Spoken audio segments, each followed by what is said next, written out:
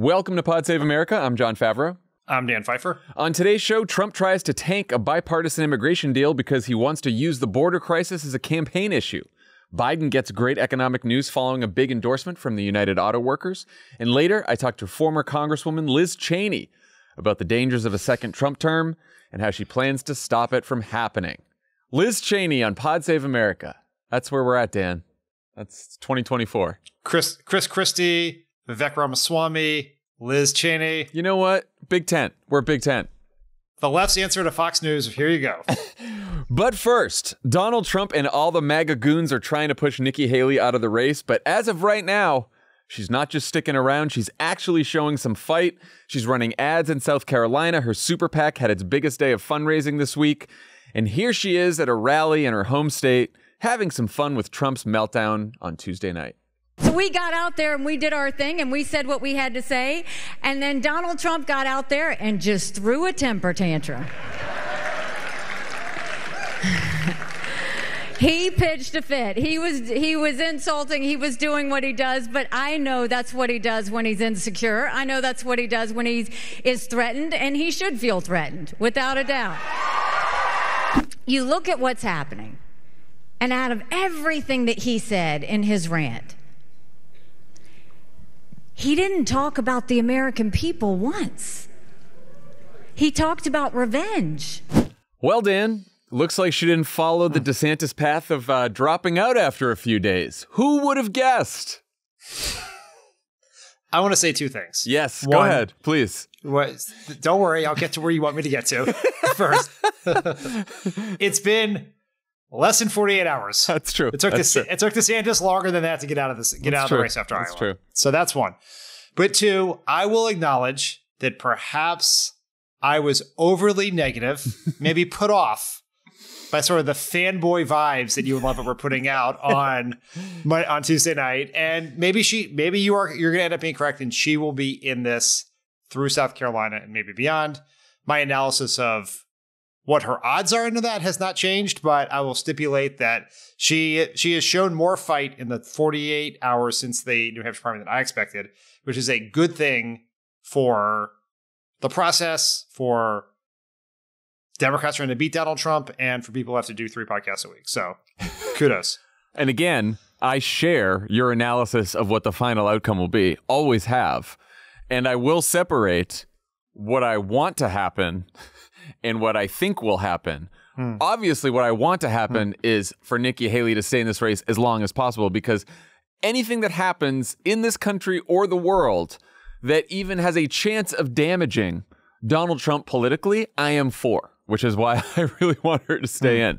Now, what I think will happen, I also think she'll stay in through South Carolina for all the reasons that I talked about on uh, on uh, Tuesday night, and I just think you know, uh, I think she's going to lose some donors. She's already lost some donors. Um, she's uh, she's still down about uh, 30 points in South Carolina. She's got the uh, most of the Republican Party pressuring her to drop out, including the ostensibly neutral RNC chair, Ronna McDaniel. So she's got some challenges. yes. The big one being uh, Republicans have yet to vote for her in any of these races. So Yeah. That's the challenge. Well, I'm I'm talking about challenges of like, does she stay in through South Carolina? Or Yeah, not? yeah, So I, yeah, I yeah, still think there's a, there's definitely a I still think there's a chance she drops out before South Carolina, but I think I'm I'm more likely than not. I think she at this point is is going to stick it out uh, because I think even though she's losing some donors, you know, that she's still raising money. Some other donors are staying in there. Uh, I mean. Which is not totally surprising. Like, when have billionaires ever been known to make shrewd political decisions or have good political analysis? Yeah. you know and again she is she's thinking to herself why not she's like she's been excommunicated from the party at this point like if she had dropped out after iowa um, maybe she could have gotten herself back in trump's good graces and the party's good graces she competed in new hampshire she chose to compete in new hampshire which is crossing the rubicon now trump hates her maga hates her she is persona non grata in the party and I, at this point, it's like, what do you got left to lose? Dignity. I mean, she was Trump's UN ambassador, said he was bad, I- said he was good again, said he I understand bad. She's lost The- that. The reason why she would get out, if she were to get out, which she very well may not, Yeah. I'd like to stipulate for you, is is losing your home state Mm. by 30 points would be that, that'd be personally painful for a lot of people right? Does it does she have a political future in that state? Unlikely. Does she have a political future in the republican party? Maybe but prob- potentially uh, probably unlikely. Uh, it- if donald trump loses in, tw- in the, gen- the general election then maybe she does. But people generally don't like to lose their home states by a lot. Now i will say I went looking through the, the quote unquote polling that we have on South Carolina, and we're Yeah. all hinging this 30% number on one Emerson poll. That when you click on the link, it comes out in an Excel spreadsheet. Um, which is not to say that it's not a good poll. It very well may be, but I would like to see some, and that poll was before Iowa. I'd like to see some more recent polling. But you would, if that poll is correct, you would have to just be very concerned for Nikki Haley because everyone, the point she made, everyone knows you, and they're currently choosing the other guy. Um, Yeah. So, but let- let's see some other. We may get some polling that shows it in a two-person race closer, right? Because there are, while most DeSantis voters are for Trump, there are some of them who were Haley voters. There were some, you know, there's a percent or two of Asa Hutchinson voters. There, whatever. Some of the Tim Scott voters, even if he endorsed Trump, probably end up in Haley's camp. There are whatever the seven people in South Carolina probably are going to vote for Chris Christie. They end up in Haley's. camp. She could get to a number that's more respectable than down 30, which would give it some juice and interest, even if she still has to find a way to win a state, a very Republican state, where in the 2016 Republican primary, 72% of primary voters were evangelical Christians, a group she's getting clobbered with. So, Yeah, and that's I mean, what's indisputable, whatever the polls show, is that hmm. not only is the South Carolina electorate worse for her than the New Hampshire electorate, it is like worse by a magnitude. Like it could it doesn't get much worse. yeah, it was 20 percent of New Hampshire voters were evangelical Christian. yeah. So it is it's tough. It's now look, Democrats and independents of course can vote in the primary if they want. There's not a ton of them in South Carolina either. And a lot of them will be, a lot of Democrats will be voting in the Democratic primary that comes first uh, for Joe Biden. So, although if I was a if I was a voter in South Carolina, I might uh, just to keep keep the fun going, I might vote for Nikki Haley, sure, why not? right in the primary. The, what's, who cares? Um, Jon Favreau. Jon Favreau announces he would vote for Nikki Haley over Joe Biden. Cool, cool. I didn't say that's just fake news at the end.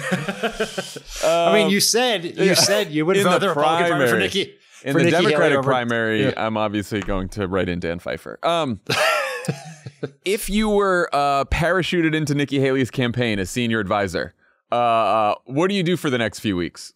What do the next few weeks look like? First, I would say, Nikki, you clearly have not taken my advice to drop out right now that I offered on Tuesday night. But since we are in it, here's what you have to come to terms with the odds of victory are quite long. For you to win would require an upset of a magnitude that has not happened in modern political history. So there are two outcomes to this campaign. One is you win. The other one is that your time in politics is over. You leave diminished, embarrassed. You will never be invited to a Republican Party function again. You will never run for office as a Republican again. You will probably spend your days either outside of politics or hosting a podcast with Liz Cheney on the Crooked Media Network. That Uh, that's not a bad future. that's I mean, but and so I would say to her, if you have any interest in the former winning, you have to be willing to accept the probability of the latter. And that means you have to be all in, 100% in. You have to make an argument against Trump every day, a brutally honest argument about how you truly feel about him, how dangerously unfit he is, how people, Republicans who nominate Donald Trump are putting this election, their party, and the country at risk. You have to be willing to say that he could be running, that the Republicans are about to nominate someone who could be running for president from prison and go all in. And then tactically, we have to begin looking beyond South Carolina. And that includes looking at states like Virginia, which uh, you're not going to believe this, but you know who won Virginia in 2016? Marco Rubio. Marco Rubio, right? but so a state like Marco Rubio, like Michigan, a place where the independents go, they wrote this in their memo that we talked about on Yeah. Monday. And you have to be willing to go all the way to the convention. Because if you were in, you were in through the Jack Smith trial. You're in through countless hamburgers. You're in, you're all the way in and be ready to take it to the convention and say that. And there's a small chance you could possibly win. It's going to require a tremendous, amount of luck, some some exogenous events, but you got to be all the way in. There was no pulling your punches for how dangerous this guy is. And you'll still probably lose. But you would but if you really believe he's this dangerous, the right thing to do is to make that case to the country. Dan, that advice is uh, it's music to my ears. I thought it would be. I want to believe. I want her to go out in a blaze of glory. Look, she's already. Uh, she's she's not there yet. Who knows if she'll ever get there? But um, I do think he didn't talk about the American people. He's only talking about revenge. She's she's tiptoeing closer to the Chris Christie message that Donald Trump is about Donald Trump. He's about himself. He only cares about himself. He doesn't care about anyone else, which I think is to me the most effective message. I think it's great for Biden. I think it's great for Democrats. It just happens to be true. It's true. The best the best messages are also true, which is that Donald Trump is a fucking narcissist who only gives a shit about himself, his election, whether he wins. Like he, there is no such thing as loyalty. There's there's no one he cares about except himself. Um, he is running for president to punish his enemies, re- enrich himself, and reward his politically connected friends. And so she should just, you know, go all out. What do you this is it. What do you get to lose? You're like your career is already your career in Republican politics is already over. So right, you get the Crooked podcast, maybe you get an MSNBC slot. You're you go to you're going to Davos. You're giving lots of speeches. She'll be you'll be, you'll be on boards. It's fine. She'll be fine.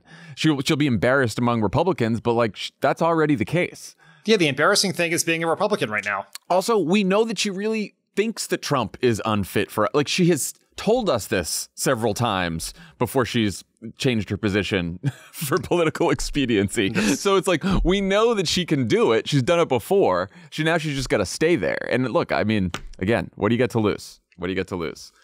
Um, Clearly, Donald Trump isn't happy about any of this. He took a quick break from attacking the woman a jury has held him liable for raping. 37 posts about E. Jean Carroll in just 20 minutes the other day.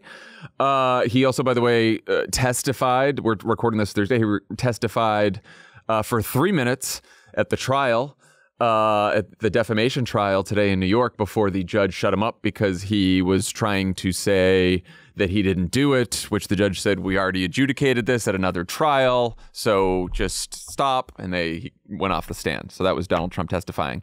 Uh, so he took a break from attacking E. Jean Carroll and he started attacking the woman still running against him. Quote, I knew Nikki well. She was average at best. Anybody that makes a contribution to Bird Brain from this moment forth will be permanently barred from the MAGA camp. What do you think that means? Uh, that means that Haley supporters won't be invited to Mar-a-Lago to help uh, Donald Trump cover up more crimes? Does it mean uh, they're not going to be able to take part in the next insurrection? What? What's MAGA camp? I don't think we want to know, Jon. I really don't. I know that we're going to be in the other camp. That's not the MAGA. Yeah, camp. yeah, yeah. I think I think the other camp is the one you really don't want to be in, right? If Donald Trump wins, yes. We're going to see Nikki Haley, Chris Christie, Mike Pence. They're all going to be in the other, yeah, the other the camp. re-education camp run by Greg Gutfeld and Jesse Watters that we'll be staying in. Yeah, yeah that one. that's it. That's our camp. I mean, I look. This is a message clearly designed for about thirty rich people in America, and these rich people they don't love Donald Trump. Obviously, they obviously do have not read the demographic. Uh, they have the delegate rules or the demographic makeup of South Carolina and are putting money in Nikki Haley's campaign, but they also like being in the mix. And so what he's really saying is, if you back Nikki Haley after today, you're not coming to the inauguration, you're not coming to the White House, you're not getting invited to Mar-a-Lago.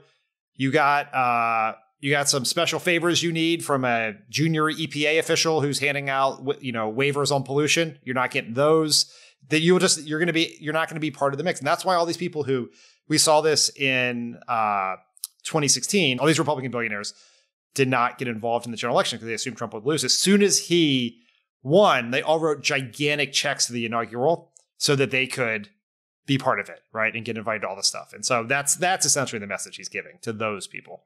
He's a mob boss. That's what it is. He's that's how uh, he thinks. Absolutely. I mean he, it's just the the republican national committee uh, the Dispatch broke the story today. The Republican National Committee is reviewing a draft resolution from David Bossie of uh, Citizens United slash Trump campaign fame uh, that declares Trump declares Trump the nominee before the 48 other states have voted. They just they are so Republicans are so afraid of people voting. They're even afraid of their own voters voting that they want to just declare that the primary is over, the nomination over, and Trump has won. Now the rules say that uh, Trump would still have to win the delegates. But if they pass this resolution, uh, the RNC can start working with him, which, you know, I mean, Ronna McDaniel was on TV basically sounding like she was going to do that anyway. This is just more evidence that Donald Trump is essentially an incumbent president running for reelection. Yeah. Like that's the DNC is working with Joe Biden because he's the incumbent president and he is in charge of the DNC. All the people working with the RNC, including Ronna Romney McDaniel, were appointed by him. They're, they exist. They're there because of him. That piece of paper, in terms of, as you point out, in terms of the delegate math, means nothing. It's a, it's just, it's a, it could be a tweet for all of all of its value. But it's another way to go around to donors and others to say, and the, and the small handful of endorsers that Nikki Haley has, and say this thing is over get on board. It's time to go beat Joe Biden, which is what their message is. And that's usually what presumptive nominees do when they think they have this thing locked up. It's what where we were when Obama had to be developed an insurmountable delegate lead over Hillary Clinton in 2008. It's the argument that Hillary Clinton tried to make to Bernie Sanders in 2016. And so that part is unusual.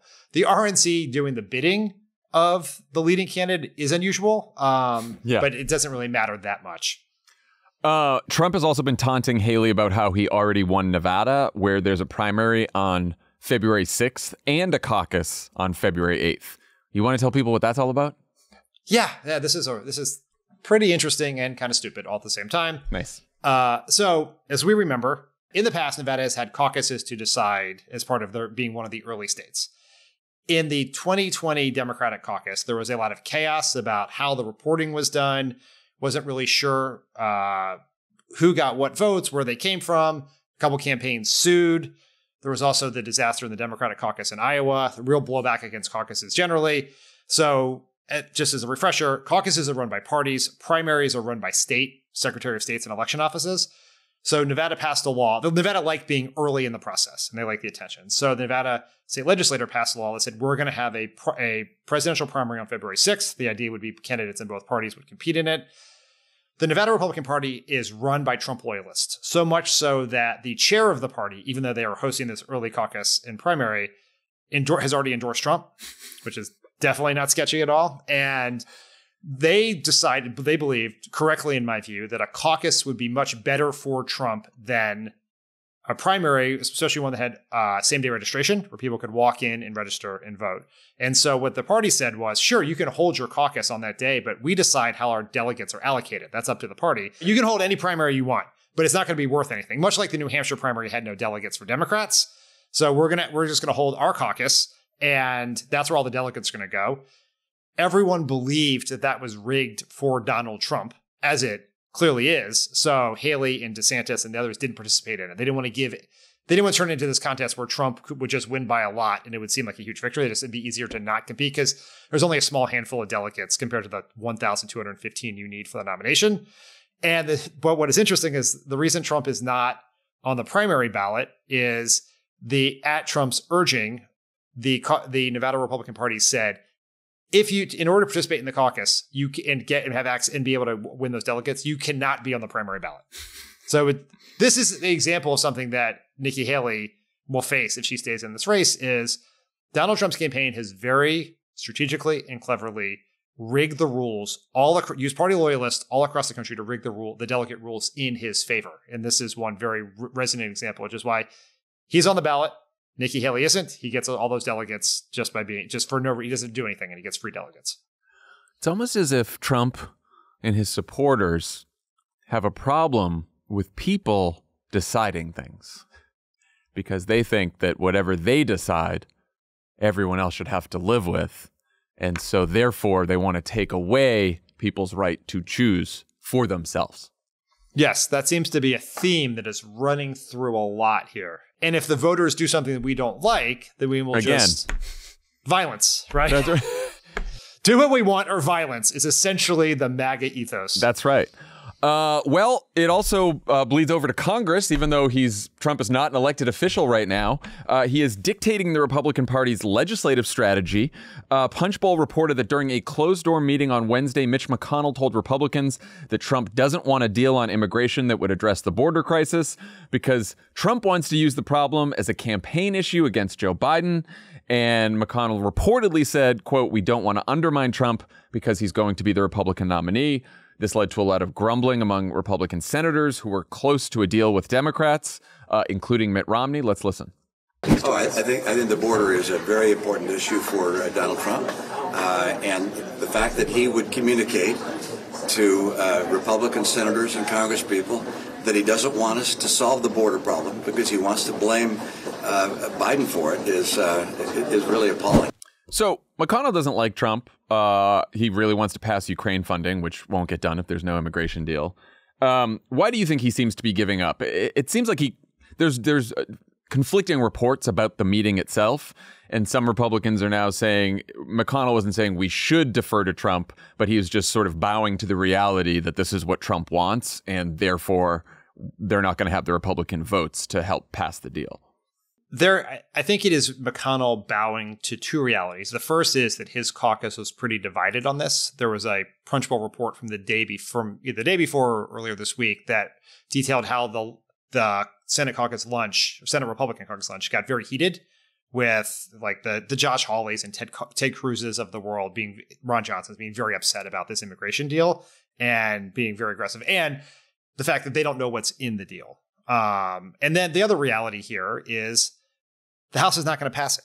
So if you're from McConnell's perspective, you're going to anger your caucus, you're going to anger your party nominee, who you now need to raise money and campaign for your Senate candidates eh, to win in these in these red states where they're they're trying to do it, like Montana and Ohio, for a bill that is very unlikely to become law because Mike Johnson, who's even who is in the thrall of Trump in a way McConnell isn't all the time, has already said we're not going to pass it. We want HR two or whatever it is, their border bill, which has no chance of passing the Senate or being signed by the president. So it's like, why take on all that water for no reason? Thom Tillis, who's been negotiating the deal, is also pretty mad. In addition to what Romney said, he uh, Tillis said it's all about politics and not having the courage. He's talking about his fellow senators. He said it's all about politics and not having the courage to respectfully disagree with President Trump. I didn't come here to have a president as a boss or a candidate as a boss. Tough news for you, Thom. Uh, most of your colleagues very much enjoy having Donald Trump as a boss and see him yeah. as their boss, even though he is yeah. not. I mean, it is just worth noting that all of these Republicans say the border is the biggest national security threat to the country. There was fentanyl coming across the border. They make up these apocryphal stories about Hamas terrorists coming across the border. And given the opportunity to do something about it now, and something that would be pretty Republican friendly, it's kind of a once in a generation opportunity to for them to do border security without comprehensive immigration reform. On their terms with a lot of leverage they walk away from that in order to help Donald Trump win an election. When we know that the deal that is that if Trump were to win, they're not going to get that deal because and Mitch McConnell has said that that there's no way with unified Republican government without the leverage of the Ukraine bill they're going to get such a deal. So they are just, they are simply they say this is the biggest problem in the world. They talk about it every single day. They foment about it. It dominates Fox News. And given that they would rather not solve it in order to win election people will lose their lives. Dangerous things will happen because of that choice. And it's like, you just have to hammer on the dangerous cynicism of what happens when Donald Trump's in charge of the Republican Party. Yeah, I mean, look, I I know this might sound surprising to you, but um, it doesn't seem like uh, the political genius who uh, controls the Republican Party made a very strategic move here uh, on this uh, on this immigration bill. Like, I know he wants to run on the issue, but he's sort of by being so open about it, Trump has given, I think, Nikki Haley if she wants it, and certainly uh, Joe Biden and the Democratic Party a huge opening to just hit him over the head with this from now until November. That every time that Republicans talk about the border now, Biden can say, We were willing to meet you halfway, work with Republicans, get something done, and you wanted to campaign on it. You wanted to campaign on it. So now he can throw it in Trump's lap, even though Trump's not the incumbent. I mean, the best thing for President Biden substantively politically, I think, would be to get a deal, yeah. presuming the details of the deal are things that are acceptable to him and his party, and get the aid for Ukraine. Like that would be a bipartisan accomplishment. Like if your choice is stand on stage at this possible debate that may or may not happen and say, and Trump attacks the border and say, well, I actually did this bipartisan thing that did X, Y, and Z, is a better argument than you blo- you, you, uh, you torpedo the deal. But you torpedoed the deal is still a pretty good argument. And it's one that Biden and Democrats up and down the ballot, I think, should hammer relentlessly. And by the way, Nikki Haley should do it in South Carolina. She should say, This is exactly what I'm talking about. He didn't fix the border when he was president. He doesn't care about fixing the border now. He doesn't care about the American people. He only cares about himself. He only cares about winning. Biden should say the same thing uh, if this ends up not happening. Uh, Donald Trump killed the border deal not because it wasn't good enough for the country, because it wasn't good for him. You know? Yeah. I mean, you just say this all day long. I have a very prescriptive message box coming out about how to talk about this tomorrow morning. Oh. Um, it's in the editing process now, Jon, just to bring you behind the curtain. But uh, Meaning it's it's probably out right now. Uh, We're taping this on Thursday. People are going to hear well, this yes, Friday yes. morning. People, yeah, the depending on how early you wake up East Coast time, you could be have already read the message box by the time you listen to this. But one point I want to make is there will be this tendency among some Democrats to use this as a way to say, "See, Donald Trump's the one who's soft on the border." Right? Kind of remember when Democrats went around saying that Republicans are the ones who defunded the police because they cut funding for local police departments, which is actually a tr- substantively true statement. It is substantively true that that there was a chance to make the border more secure. Donald Trump opposed it, therefore he is soft on the border. But the attack has to be believable. Yeah. And voters are not going to believe that Donald Trump, who is known for the wall and for cruel immig- anti-immigrant rhetoric and policies, you have to make it about Donald Trump putting himself and his interests over what's the best for the country. They don't. They may not believe. They will not believe he's soft on the on the border, but they will believe that he is a self-interested narcissist. Yeah. And that's the that is the way to make this. That he is putting politics, he's putting his own interests above the country's, and that is the core of what I think that argument should be. Which is, by the way, the narrative of almost all the news we've talked about today, and a message that is available to Nikki Haley and uh, Democrats. Yeah. So and it- Biden, the Biden folks have been doing a lot of Yeah, this. oh, they- no, they've been doing it- about the border yet, but yeah, but not, yeah, not with the border because it hasn't come up yet, but for a whole Yeah. bunch of other stuff, they've been doing this. Yeah. Um, so I'd say that Joe Biden is having a pretty good week. He won 64% of the vote uh, in the New Hampshire primary, despite not even appearing on the ballot. We learned on Thursday that even though a lot of economists uh, predicted a recession, uh, the economy grew at a healthy 3.1% clip last year, which is higher growth than any year under Donald Trump, even before the pandemic. Uh, Biden also won the endorsement of the United Auto Workers, one of the biggest unions in the country, and he joined uh, UAW President Shawn Fain in an event this week. Donald Trump is a scab. Donald Trump is a billionaire, and that's who he represents. In fact, when Donald Trump was in office, six auto factories closed around the country. Tens of thousands of auto jobs were lost nationwide during Trump's presidency. During my presidency, we've opened 20 auto factories and more to come. We've created more than 250,000 auto jobs all across America. So, uh, not entirely unexpected endorsement, but still a pretty big deal. What do you think? a huge deal, very important. And I think Biden should campaign with Shawn Fain as often as possible in this election. I think Shawn Fain's an incredible messenger. I think what Biden has done for unions, he is the most pro-union president in modern history. He has, through his administration, and we're existing in a time of like resurgent union power with the organizing efforts are happening at Starbucks and Amazon, all these other places across the country.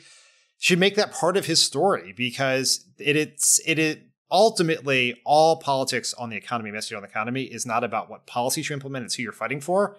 And the labor stuff is about Biden fighting for working people all across the country, big cities, small towns, white, black, Latino, everyone, right? And so that I think that's an important story that should be told everywhere, right? And he should be with union members all the time. Unions have never been more popular than they are right now, right? For at least in the last thirty or so years, and take advantage of that. Use that association to tell a story about the kind of president you have been and will be if you get a second term.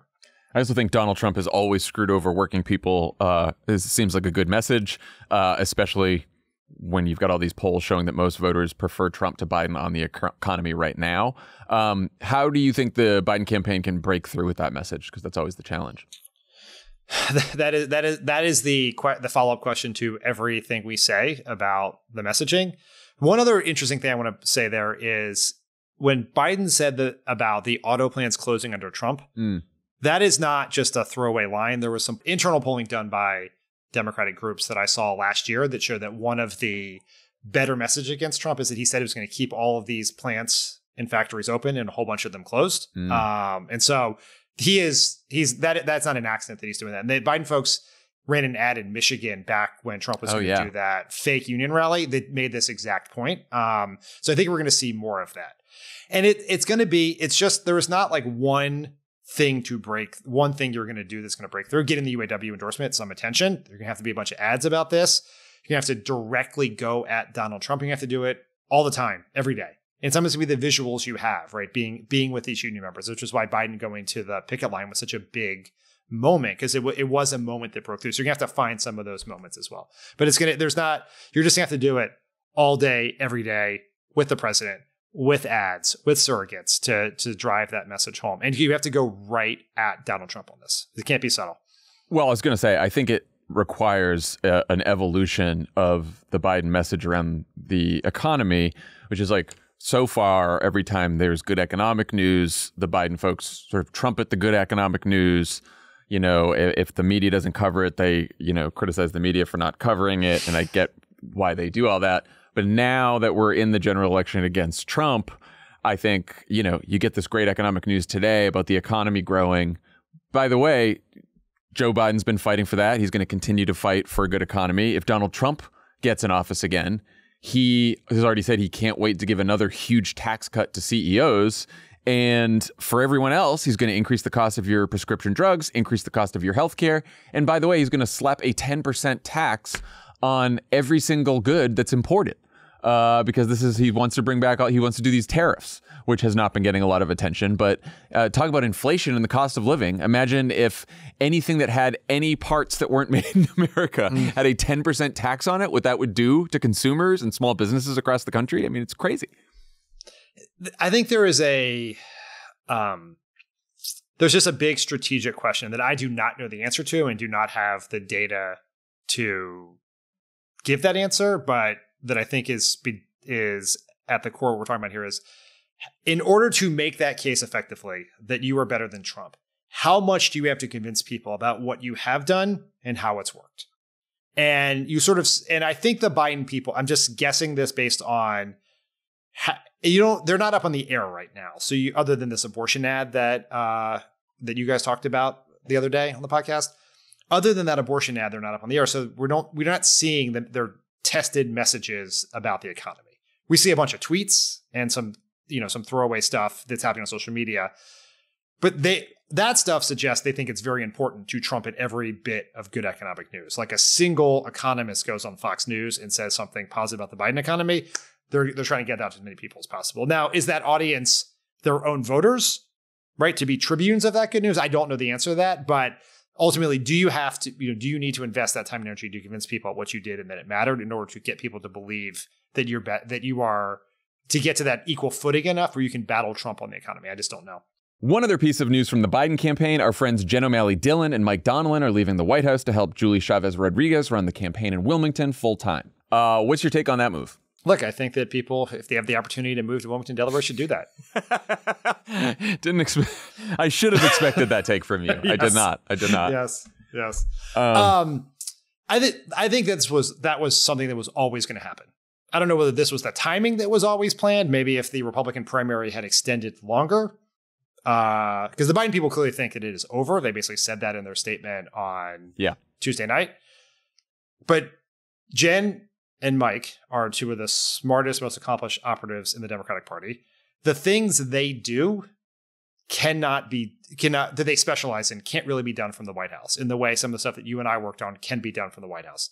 Jen is a is she's obviously a extremely experienced campaign manager, ran his campaign in 2020, she's run other lots of other campaigns.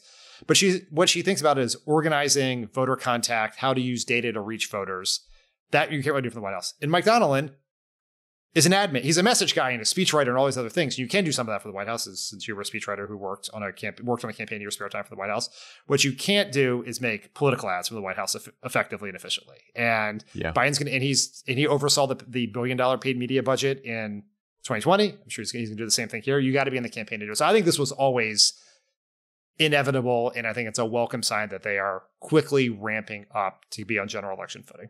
Yeah, it it certainly feels this week like uh, all my Nikki Haley fantasies notwithstanding, the general election has begun, and the Biden people get that, and they are ramping up as well, and everyone's starting to see a lot more of Trump. So Uh, hopefully, things start getting going from now on. When we come back, Liz Cheney. Pod Save America is brought to you by Beam. Are you having trouble sleeping or staying asleep? Is poor sleep negatively impacting your life? Have you tried other sleep supplements with no success? If so, you got to try Beam. Beam. I used to have trouble sleeping. Now I drink Beam out like a light. Yeah, this is still a dream. Yeah. This is part of a dream. I- I'm yeah, we're both naked. I mostly sleep. and we're on a plane. I'm not awake. I'm only awake for these podcasts. Sleep is the foundation of our mental and physical health. When you are sleeping well, you can perform at your best mentally and physically. the only Proper- problem with this dream is we this country needs to wake up. Proper. You know what I oh, mean? Oh, God. Proper sleep can also increase focus, boost energy, and improve your mood. Better jokes, too. Introducing Beam's Dream Powder, a science backed healthy hot cocoa for sleep. And today, listeners get a special discount on Beam's Dream Powder, their science backed healthy hot cocoa for sleep with no added sugar. Better sleep has never tasted better. The numbers don't lie. In a clinical study, 93% of participants reported Dream helped them get better sleep. Beam Dream is easy to add to your nighttime routine. Just mix Dream into hot water or milk, froth, and enjoy before bed. If you want to try Beam's best-selling Dream Powder, get up to 40% off for a limited time when you go to shopbeam.com slash crooked and use code crooked at checkout. That's shop B-E-A-M dot com slash crooked and use code crooked for up to 40% off. Joining us today, the vice chair of the January 6th committee and author of the new book Oath and Honor, a memoir and a warning, former Wyoming representative Liz Cheney. Welcome to Pod Save America. Great to be with you, Jon. Thank you for having me. I appreciate it. Yeah, I mean, so in 2004, I was working on John Kerry's campaign while you were working on the Bush Cheney reelect. And if someone had told me then, the two of us would be chatting about how to save American democracy from the uh, former host of The Apprentice, I'd have a few questions. yeah, exactly, exactly. But here, but here we are. That's Um, right. So it's the day after Donald Trump won the New Hampshire primary. What do you make of Nikki Haley's decision to stay in the race, and uh, and do you see a path for her? Yeah, look, I mean, I, I I hope she stays in the race. Um, you know, as long as as she has to. Um, I think certainly, you know, through Super Tuesday. Um, I think that uh, we're in a situation where only two states have voted, and you had something like you know over thirty five percent, I believe, of the Republicans coming out um, of uh, the voting in New Hampshire uh, said they would never vote for Donald Trump, and uh, so uh, we're obviously, you know, looking at um, uh, a significant portion of the Republican Party uh, that that is supporting him, um, but ultimately, this is going to be about being able to win independents. Uh, and in a general election, uh, surely Nikki Haley fares much better than Donald Trump does. Um, and and even more important than that is where you began, which is um, the threat that he poses what we watched him do in the lead up to January 6th, uh, his attempt to seize power, uh, presents an existential threat. And so we need to make sure that we're we're challenging him and working to defeat him at every step of the way. Uh, and and right now, Nikki Haley is is in this fight, and and I think she ought to stay in it. Are you uh, are you officially supporting Haley over Trump now that it's just the two of them left, or do you not? Uh, might that hurt her? I have, yeah, I mean, I haven't made any formal endorsements um, uh, at this point, but certainly I would I would never support or vote for Donald Trump again. you um you said you're considering a third party run for president, but that you won't do anything uh, that would help Trump win. Have you seen any data that suggests a run by any independent candidate would help defeat Trump and not help elect him? I, I certainly think that um, uh, there are people on both sides of the aisle. There are Republicans and Democrats, um, and you've seen all the polling that shows you know seventy percent of the people are dissatisfied with having you know the choice be Trump versus Biden, um, and and so I think it matters very much. Um, you know what the overall um, terrain looks like. Uh, I think that we certainly are going to have more than two parties in this race. You've already got independents uh, in uh, on the left, and um, and I think we'll see what happens. I, I um, again, you know, I've, my my number one priority is defeating him, and um, I think that's you know going to guide whatever ultimately I decide I'm going to do. Does that involve? Um, could you imagine telling Republicans and conservatives like you to vote for the Democratic nominee if it comes down to that?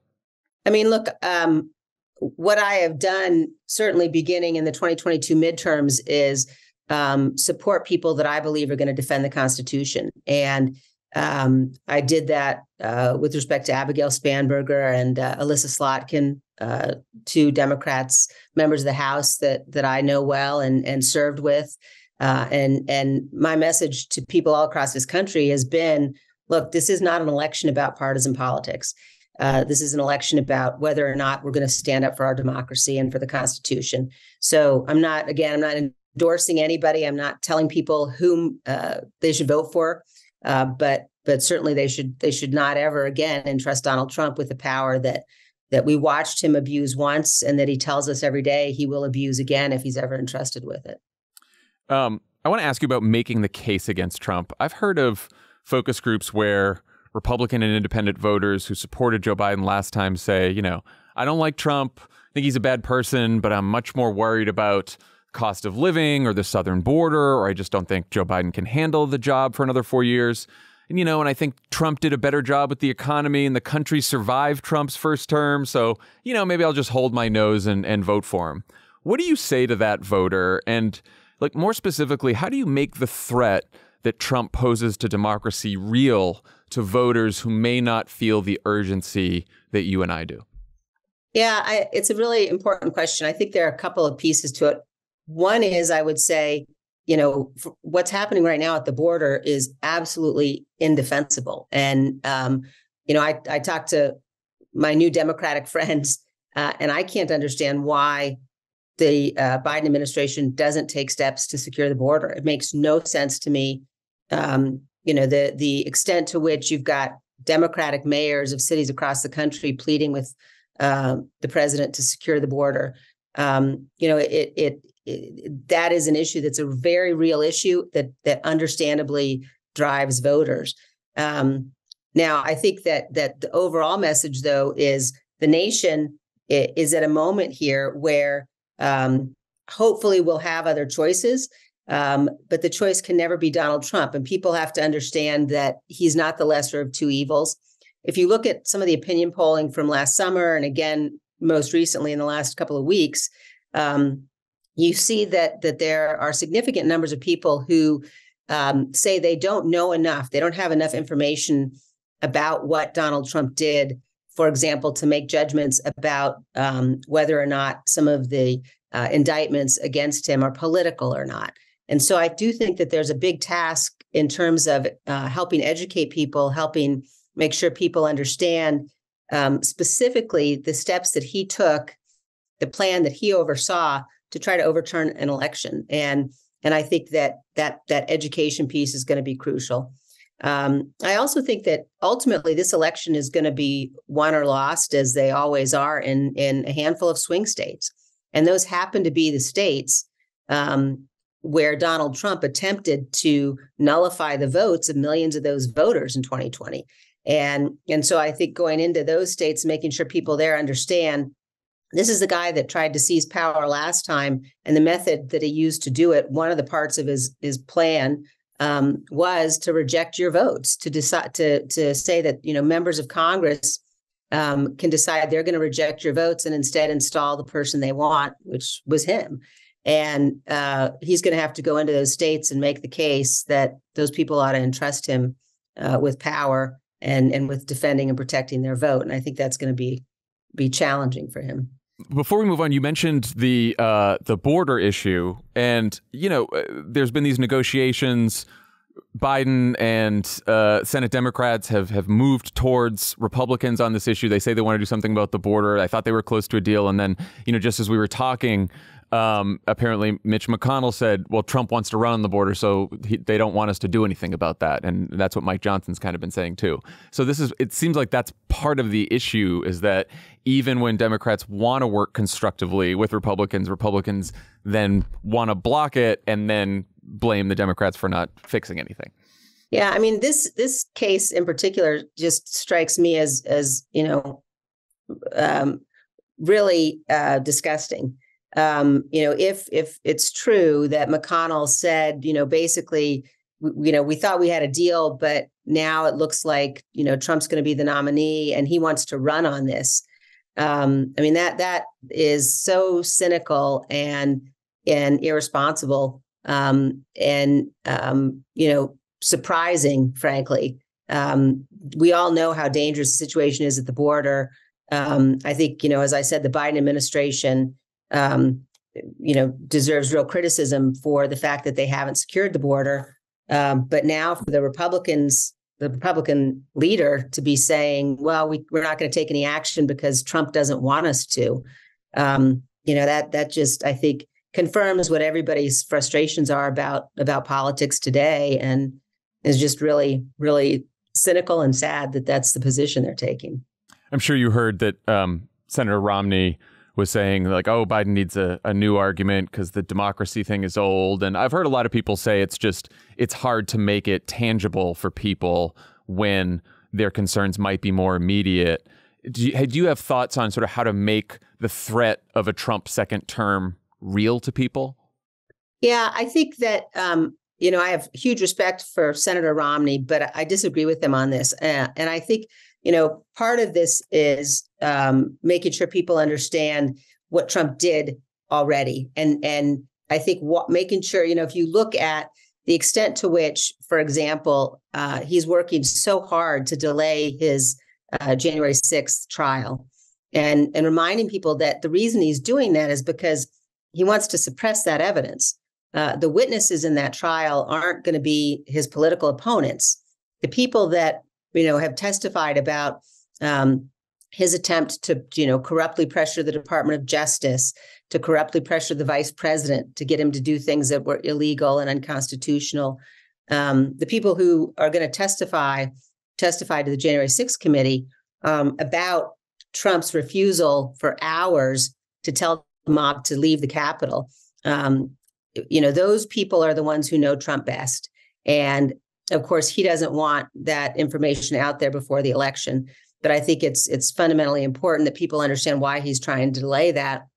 Uh, and I think the more that we can make sure we have in front of people um, what those individuals have said, what his White House counsel said, uh, what his Attorney General said, what the the you know uh, head of his last campaign said, you know those are not those aren't Democrats. You know those are are people Trump hired what members of his family said uh, about about the depravity of his um, unwillingness um, while he watched on television the, that violent attack, his unwillingness to tell people to stop. Um, you know that gets to sort of a fundamental human question about what kind of a man is this, um, and I think that you know people will recognize and understand the threat that he poses. Uh, you're a lawyer and probably know more about the election subversion charges against Trump than anyone but Jack Smith and his team. If you were them, uh, what would be keeping you up at night? Look, I think if if you if you look at um, the work that the select committee did and um, the criminal referrals that we made, um, the certainly obviously you know Jack Smith has has um, secured his own testimony and witnesses have come in and testified in front of his grand jury. And and it's that process on which uh, the charges are based. But but they track very closely with um, you know what the select committee was able to uh, learn during our investigation. Uh, and um, i think that one of the things that we have seen to date that's been so important um, has been the extent to which our courts have played the role that that they're supposed to play in terms of you know all the institutions of our government. Um, you know with with a couple of exceptions we've we've seen judges be very um, responsible and even-handed and approach this with the gravity that it it deserves. Um, i think that you know what what we're watching what anybody who cares about the rule of law um, has to be deeply concerned about is uh, Donald Trump's efforts really on a daily basis to tear it down, uh, to use threats of violence, uh, to attack fundamental, uh, you know, the, the, individuals who are involved in these cases as well as the institutions themselves, and and I think that that that should cause grave concern. The fact that you've got somebody who's willing to do that, who's so close again to um, to being the nominee of one of the two major political parties. Do you have any concern that the Supreme Court will decide that the charge of corruptly obstructing an official proceeding somehow doesn't apply to Donald Trump's attempt to overturn the election? Uh, well, I, my view on that is very clear, and I think, in fact, um, uh, you know, the the the question has been one interpretation of that statute that uh, would would basically um, hold that it only applies in an instance where there was an attempt to um, destroy documents or an attempt to falsify documents that was very focused on this concept of documents. And of course, we know um, that what Donald Trump was doing included things like um, ensuring that there were fake, fraudulent electors uh, submitted to the Congress, submitted to the vice president. Uh, so even even in a very narrow reading of 1512c2, um, I think it's pretty clear, as the select committee pointed out, that Donald Trump's uh, that, that that reading would cover Donald Trump's actions in this case. Um, and I think it's also important to understand that you know the the case that's in front of the Supreme Court on that issue is not a case that involves Trump. It's a case that involves one of the the rioters. Um, and I so you know no matter how they hold in that case, Donald Trump's connection to, um, in particular, the effort to falsify electors and ensure that those were presented to Congress uh, clearly fits within the plain meaning and the intent of that statute. Uh, what scares you most about a second Trump term? Um, the the extent to which um, we know that as president he will refuse to enforce the rulings of our courts, and um, I think it's really important for people to understand what that means. You know, the the na- we're only a, a nation of laws um, if the president enforces the rulings of the courts.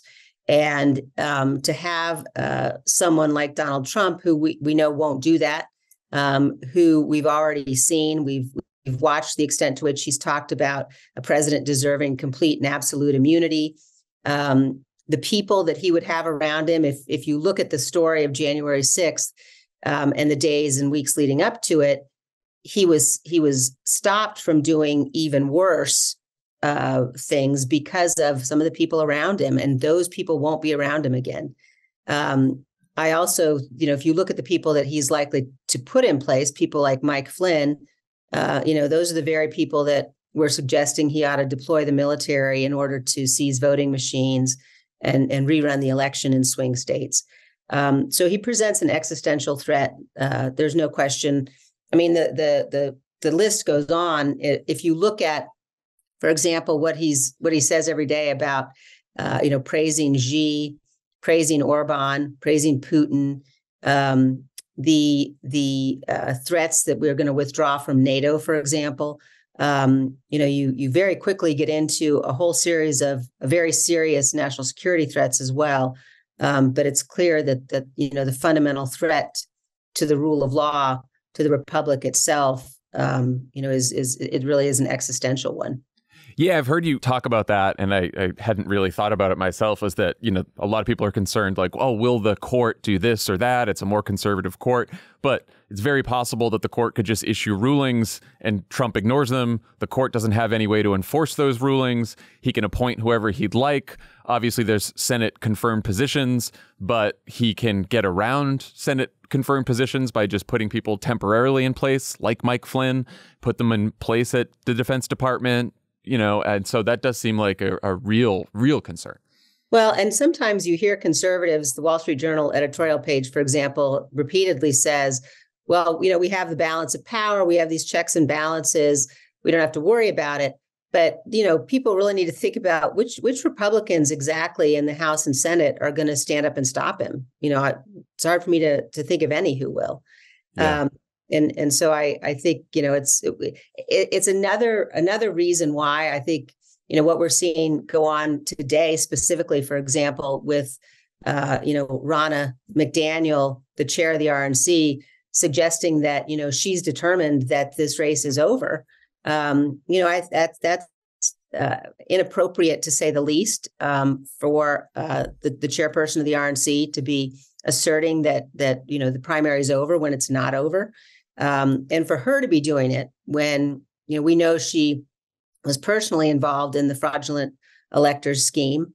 Um, recently, you know, we've learned that that she was also involved in uh, uh, reportedly Trump's phone call to the officials in Michigan to try to get them to reverse their certification.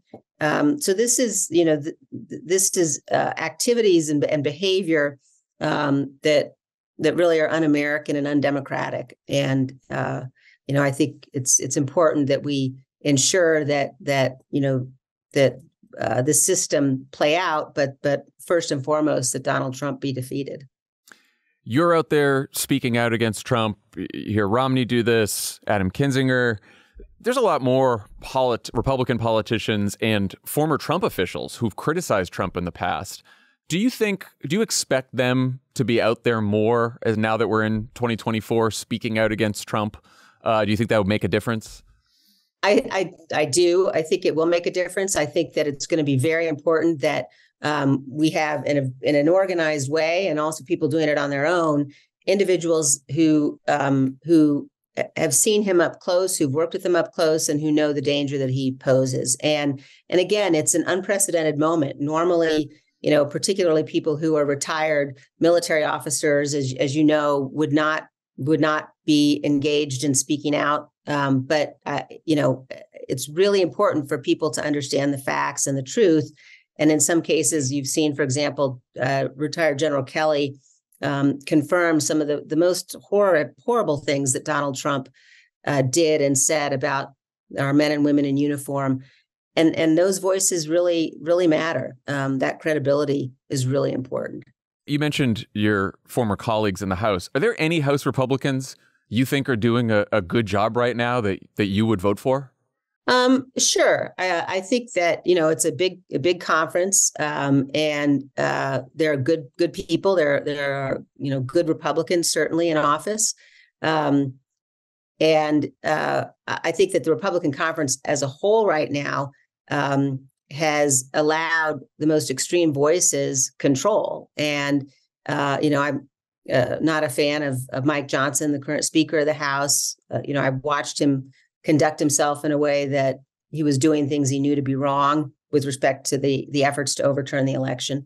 So I think you've got a real problem with the the the way that the conference is led, um, and with you know you've got over half now the Republicans in the House have endorsed Trump.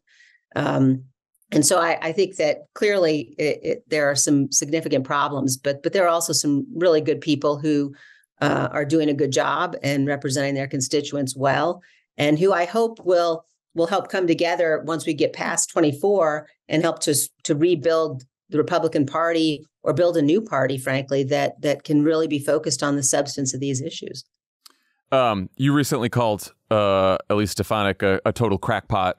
No disagreement from you there. Uh, in your book, you write about how she underwent this dramatic transition from being a reasonable and thoughtful lawmaker to a Trump sycophant. Can you talk more about what it was like to watch that evolution? Because I'm, I'm sure there are many other Republican politicians who have taken that same path.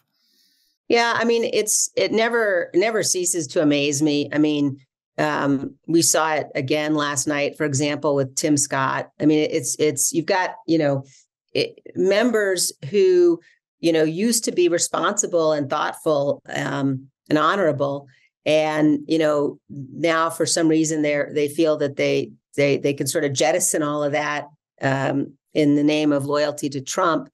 And I, I, you know, I think there are a number of reasons why it goes on. Um, but um, you know, one of the the episodes that I talk about in the book has to do with um, you know what we were hearing after the election, but before January 6th, when when members would sometimes say, "Well, let's just do this one more thing for him. If we just do this one more thing, um, you know, then that'll be it. And and you know, then he'll concede, or you know, we can all move on. But you know, that one more thing becomes a slippery slope. And you know, once you've done just one more thing, and then you do just one more thing, um, you know, people begin to rationalize, and and you get to a point where you've sort of you've crossed you've crossed the Rubicon, and and if you rationalize defending him after he tried to seize power and overturn an election, it's it's pretty hard to to walk walk back from that. Um, and yeah. so, uh, you know, but but what I would say is all all of the individuals who are doing that, you know, history teaches us that when autocrats come to power, they have to have people who are willing to support them and enable them and, and collaborate with them. And and history will, you know, judge them, um, in my view, as harshly as as it, it will judge Trump because he can't do what he's doing without without them. I know a lot of never Trump Republicans whose whose politics and even policy views have changed as a result of Trump. Some of them are basically Democrats now, some are independents. I know you're a proud conservative. You and your family have have been in Republican politics your whole lives. But I've even noticed that that your rhetoric about your policy and political differences with Democrats has has softened over the last few years. Has the Trump threat and the and the transformation of the Republican Party into a Trump party caused you to rethink any of your policy positions or or political approach? Um, my policy views haven't changed, uh, but um, living through the last three years and and living through this moment in our politics has certainly um, caused caused me to think uh, again and more carefully about how I engage in politics and um, you know, I think you, you started talking about the 2004 race. You know, we've, we've been involved in many campaigns, many uh, partisan and ideological battles. And I'm not opposed to, you know, our, our nation needs partisan debate. We need to be able to do that. But but I, I think the reflexive sort of, you know, well, if the Democrats are proposing this, let me pull my talking points out to find the harsh way I can attack that. And the Democrats do the same thing to Republicans. And I think that um, that kind of reflexive attack and and the kind of of toxicity that we've seen really um, is something we all have to to turn away from. And and I think the best debates, and you know, the the reason, for example, why I, I supported people like Abigail and Alyssa is because not because I agree with them on everything, uh, but but I know, like, look, if I'm going to be in a debate with Abigail Spanberger, I better be prepared because she's going to be prepared, and and I hope we'll both learn something. And you want to be engaged with people. You can sit down and say, listen, like, tell me why you believe that because I believe this, and here's why I believe this. Um, but I, I think the country needs a lot more of that, and and I think we have to we have to really walk back from the edge of of um, of the, the toxic nature of our politics. And and the the extreme of that is what Donald Trump has done with respect to bringing violence back into our politics in a way it hasn't been, you know, in the modern era. Do you think that's possible to do at this point, even even if if Trump is defeated in 2024? I, I heard you talk about building a, possibly a new party after 2024. What would that look like, and What's made you hopeful that there is a critical mass of, of conservatives or Republicans uh, like you who'd actually join that party? Just just looking at the the results of what Republican voters are have been choosing over the last several years. Yeah, I, what makes me hopeful is um, as I travel around the country and I uh, I talk to lots of people, um, and you know the vast majority of Americans whether they're Republicans or Democrats, um, they they want their kids to grow up in a country that's free. Um, they think America ought to have the peaceful transfer of power. Um, they they want their elected officials to conduct themselves in a way that isn't embarrassing. Um, you know, one of the things I, I think is really important is for us to get more people to run for office, because you know if you and uh, I used to talk a lot about this actually the Republican impeachers. You know, if you look at the the challenges we're facing and the complexity of those challenges, the, both internationally and domestically, and then you look at the caliber of the people that are getting elected today, and the gap is huge. And we're like taking people that are not competent, putting them in office, and then saying, now here, could you figure out these really complicated strategic issues and think through this in a thoughtful manner? Um, and that's going to lead to disaster. So we need people to have better choices. We need more people to run. I think we need to look at things like ranked choice voting. Um, we need to look at how we conduct our primaries. Um, I think we need to look at term limits. I think there are some constitutional problems with term limits, and and I have not been supportive of term limits in the past. But but I think that if you if if elected officials in order to get them to do the right thing need to not be focused on the next race then it may be time for us to take another look at term limits Uh, last question. Uh, what's it What's it been like to uh, become a, an unlikely resistance hero? Disorienting. it's i mean that's a yeah it is it's it's i mean look it, it's definitely weird um in some ways um but but look it, it also it's it's one of the things that that does give me hope is how many people have, have sort of said like you know and especially young people like uh, they don't really they they don't think about well am i a republican or a democrat? You know they they they're saying you know are we are we going to live in a country um, that's governed by the constitution? And and i think that kind of unity and understanding and and desire to work on these issues um, that gives me a lot of hope and and i i really do in a lot of ways you know I, I look forward very much to the day when you know when i can come on your show and we can have an argument Yeah. No, I. And- I mean, it, you know, then we'll know like, okay, we got past this really huge threat. And so now we can talk about, you know, what our national security policy ought to look like. Yeah. Um, and I, I think that's that'll that'll be how we know that that we've succeeded here. Yeah, well, uh, look, I've often over the last couple years, I've done a thought experiment with myself, which is, okay, say there was a president who's a Democratic president, and uh, they're very progressive, and you know we could get, and there's a progressive Supreme Court and a progressive majority in the House and Senate. We could get everything we wanted policy wise as progressives, but that president is doing what Trump did and not respecting the rule of law and trying to overturn elections and trying to stay in power.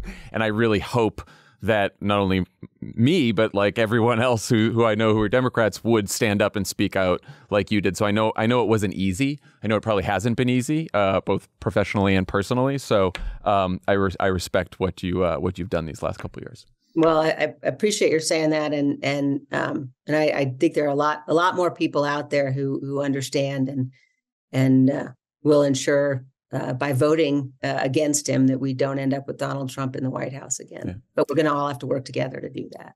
Yes, uh, Liz Cheney, thanks for coming on Pod Save America, and I hope next time that you're on, we uh, we can argue about policy. I know, me too. I look forward to it. All right, take care. Thanks. Bye bye. Thanks to Liz Cheney for joining us today. Uh, everyone have a great weekend, and we'll talk to you next week. Thanks to Liz Cheney. Something I never thought I would hear on our podcast. But you know She what? was great. Thanks for I- coming on. Legitimately, thank you to Liz Cheney. Yeah, Uh, for sure. Bye, everyone.